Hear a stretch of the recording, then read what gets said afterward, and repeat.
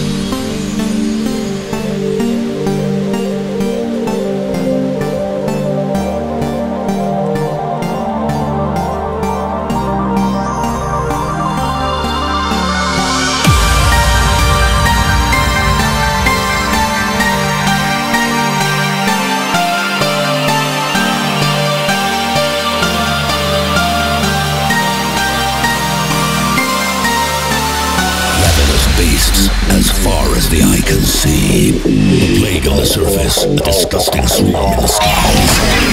With a crash of thunder, a new demon appears. Unfurling its rotten wings, it lets out a petrifying